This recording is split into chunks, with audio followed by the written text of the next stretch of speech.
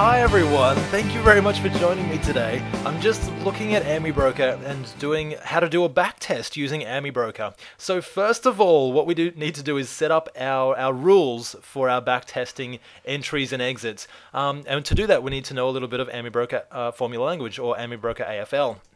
We go to Analysis and Formula Editor really quickly. Um, what I've got here is we've actually got this set up already. Um, I do have it at the site just it's uh, you can copy and paste it. Probably if you have trouble, if it doesn't work, just type it in manually um, or paste it into Notepad before you paste it um, into your AmiBroker um, formula language. Just because sometimes if it's from the site, it might pick up a few extra spaces or something like that, which means it won't work.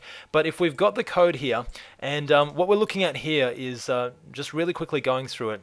Our first two lines here are just setting up arrays. So uh, what an array is, it's like an object. You can pretty much create anything um, in AmiBroker just by going this such and such equals. For example, at the moment we've got high or hi um, equals, and that just means every time that hi comes up, which it does later on, then it's going then AmiBroker AmiBroker is going to run this particular code. So the code that we're looking at is um, just a very very very basic trading um, trading system. I wouldn't recommend using it without testing it thoroughly, um, and in fact that's what we're going to do here as well. Um, so yeah, just to, obviously that's your caveat there. Um, what we're looking at is highest high value, so HHV, and it's the closing price of the last 20 days, and that's what we're setting up high. And for LW or low, we're setting up for the lowest low value or LLV, and you'll know it's working if it turns blue, um, by the way. So yeah, that's when AmiBroker says, yes, I recognize that code. I, I, I can use LLV, happy days. And we're looking at it at the close of the last 10 days or 10 periods, depending on what you're using, weeks or days, whatever you prefer. Under these circumstances, we're using days.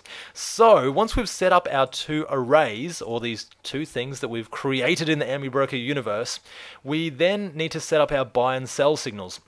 So we've got our buy equals a close greater than or equal to which is, uh, you know, that's your basic sort of year five maths or whatever, um, and it equals or greater than or equal to high. And high is the highest value of the last 20 days. So as you can see, it sort of makes sense. Like when you do go through it like that, and a sell equals a close greater than or less than or equal to the lowest low of the last 10 days. So we've got that. Once we've got that, you can either save it as you want, or you can send it to your automatic analysis, which, which is what we're going to do. You can click on this button, going to send to automatic analysis, or you can go to tools and send to automatic analysis, and that will bring up our automatic analysis window. Happy days! Alright, from here, this is where the magic happens. What we need to do is we're just going to work from left to right really quickly. We want to apply it to the current symbol, and let's just say our current symbol is the All Ordinaries. So we'll make sure it's the All Ordinaries. Happy days there. We want to test it, let's say we want to test it over the last 20 years let's just get a little bit crazy up in here. We've got the last 20 years. What's that? 1992, approximately. Let's just make it a bit rough. There we go too easy. So it's a little bit more than 20 years, but I won't tell anyone if you don't.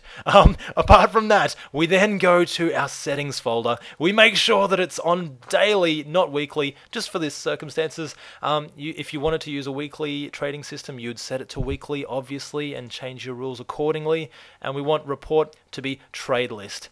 And that should give us everything we need to proceed. So once we've got this set up, we've got our single stock over the last 20 years, we've got our rules defined in our formula file, we just click backtest. Very, very simple. And look at that, it didn't even take, it took I think it took about three seconds. How good is that? It saves you from going through it manually. Um, so it's come up with so many different trades as well. And obviously, um, yeah, so the, we need to know if this is going to be a profitable system, basically, don't we? And to do that, this is where one of the best things in AmiBroker comes in. We click on Report. Now, when we do click on report, it brings up our statistics, and this stuff is absolutely fantastic because at your fingertips, you now have, over the last 20 years, using this particular system, we have our net profit, So our our basic our profit was 78% over the last 20 years. Um, I don't know if that's you know really fantastic or not, but at least it's positive, so that's really good. We took 133 trades and you know average profit and loss average profit and loss percentage.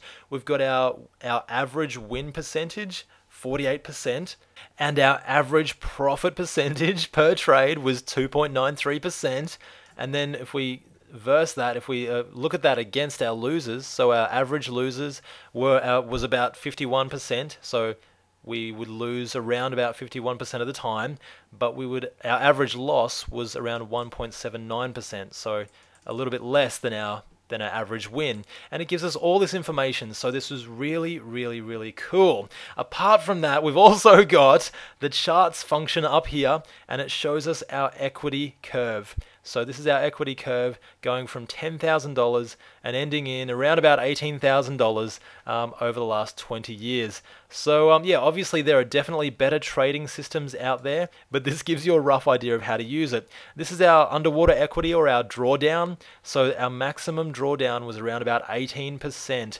once just before the 2003 bull market and once around 2008. And uh, you can guess what happened in 2008. so that gives us, oh, and it's also got, you know, like professional stats. It's really, really cool. These are our monthly profit and loss figures. So, you know, if it's just like looking at a hedge fund, basically, you're looking at the, the year to the year end and then each individual month was it a profit? Was it a loss? Um, these are the figures that you would sort of give to people if you were if you were trying to prove this system's worth, and it's really really cool. So that is the reporting function. Last but not least, what we want to do is we also want to show the buy and sell arrows just so that we can get a visual for what we're looking at. We click we right click on these, uh, anyone will do, and we go show arrows for actual trades. We'll just minimize that, minimize that. And then uh, if these arrows don't show up already, what we want to do is we want to right click and go parameters and we just want to scroll down and say show trading arrows. Yes that's exactly what we want. Click OK. Our trading arrows should show up. And as you can see we've got um, you know, green buy signals and red sell signals, and it shows us where we would have bought and sold using this particular theory over the last 20 years. So really great to get a visual on it, and um, really good to see, you know, if it would meet your trading style or your trading time frame, whatever you're particularly comfortable with. I absolutely love this. I think it's fantastic. I hope this has helped you in some small way, and I'll see you next time for more AmiBroker tutorials and charting tutorials as well. Have a great week, guys. Happy trading. Bye for now.